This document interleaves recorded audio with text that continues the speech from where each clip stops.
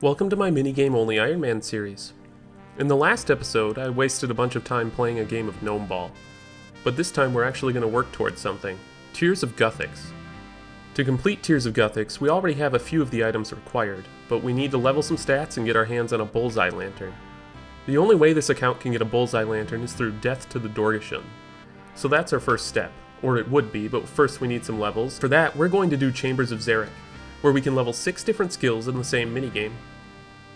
Chambers also happens to be one of the only minigames with absolutely no requirements, so it's going to be absolutely vital in eventually getting the total levels we need for Soul Wars.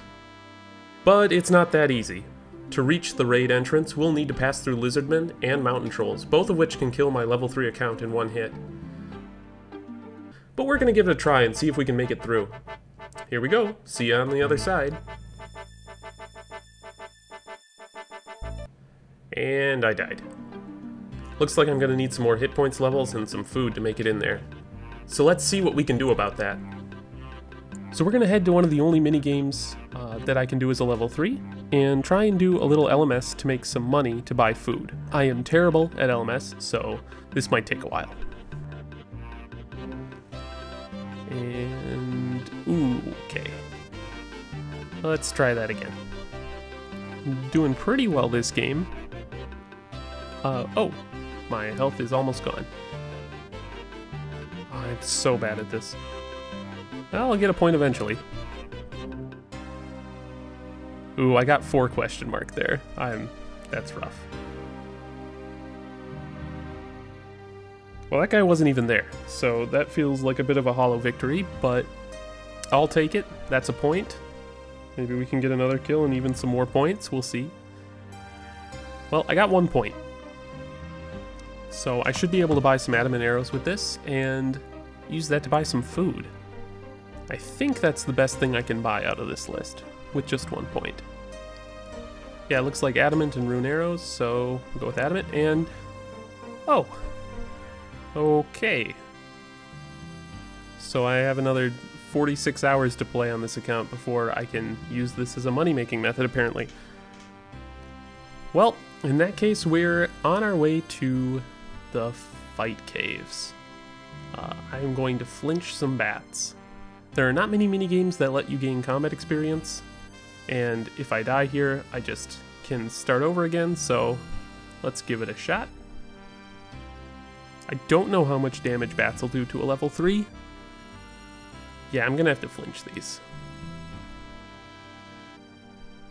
Ooh, okay. That's not so bad, because I can just run back in there and uh, get to flinching. And I will see you guys in four minutes.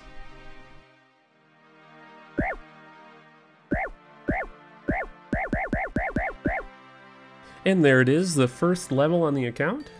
To attack. This will hopefully speed things up a little bit. I've been missing a lot. Uh, literally took 15 minutes. So on to level 3. You ever want to just punch a bat? Well, I died. But we got our first level, and uh, in five minutes or so, I'm going to head back in there. So I decided that I needed a weapon. So it turns out if you start the Gnome minigame, uh, Gnome Restaurant minigame, they'll give you some free stuff you can sell at the shop. There we go. Got a bronze two-hander on the account. This will significantly speed things up. Uh, it won't take too much for me to get a max hit of 2, 50% higher average damage. Let's go test this thing out. This maybe was slightly less effective than I had hoped it would be. There it is, the first hit with the bronze two-hander. Well on our way to 3 attack. Can we get the back-to-back? -back? No. There it is, a back-to-back -back 3 attack. Looking good. Two levels on the account this episode so far. Plenty more to come. And I'll see you with the next one.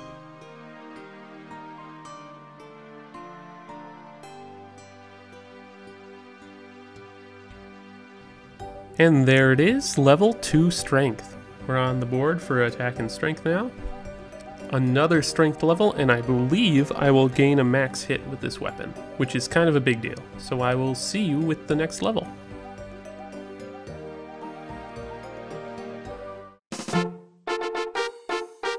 And there it is, 5 attack. This is actually kind of a big deal. Uh, steel weaponry.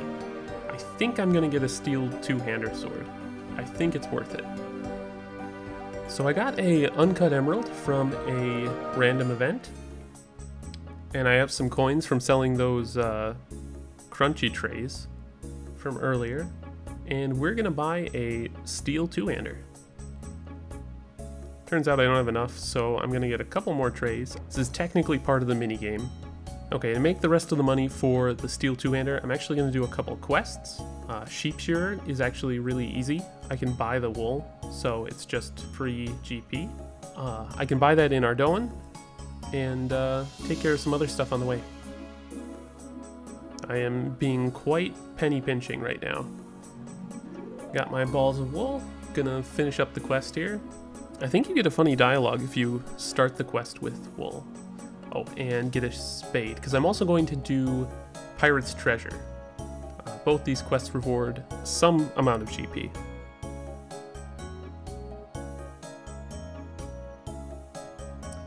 Well, that was easy. Got a crafting level on the account.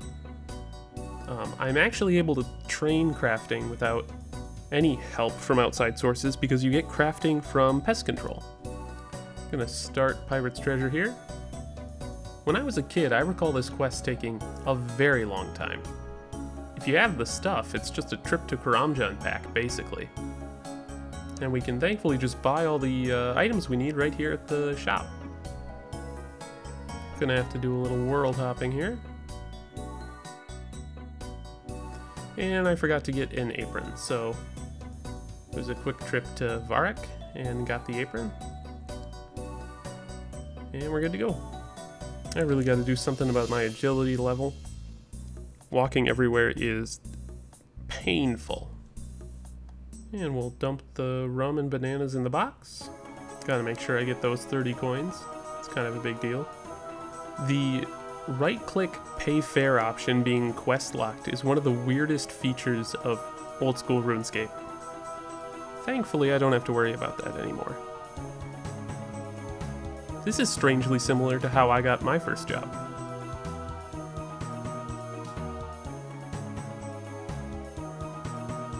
Why did I record this whole thing? And voila. Quest complete. Lots of money here. I can sell these for even more. So I'm gonna quick do that. That'll get us real close to the steel two-hander. Oh, that's gonna get us like exactly to the steel two-hander. Turns out this two-hand shop is actually a little cheaper, so we're gonna buy it here. Oh, look at that. Feeling real beefy on the account now. A proper weapon.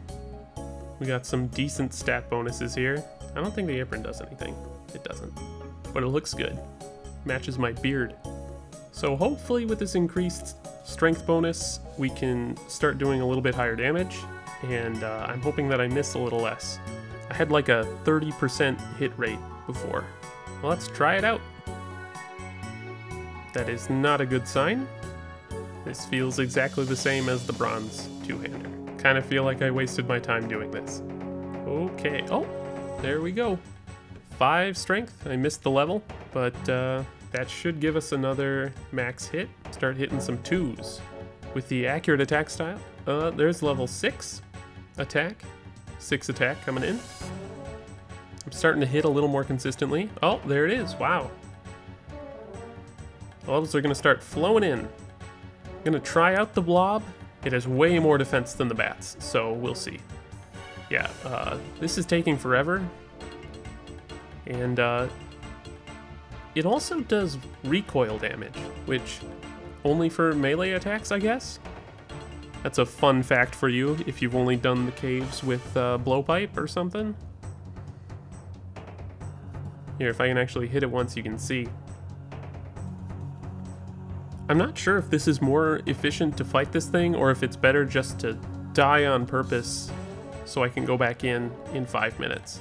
It's really hard to say because I miss a lot, so, but I mean, waiting five minutes after every two waves is also very slow.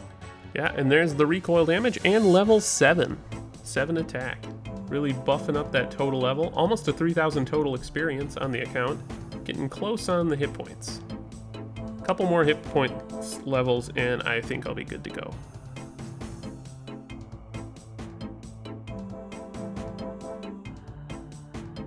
There it is. Wave 3 completed. Oh, I forgot that he splits into. Well, I got some Tokkul. That's nice. Feeling pretty good about the account. So I realized a new money making method I could do that fits within the rules of the account. We're actually going to be heading over to the Silk Trader. If you didn't know, you can actually buy silk here for 2 GP each. You have to go through a boring dialogue, but you can sell them in Ardougne for 60 each. So that's what I'm going to do with all of my money.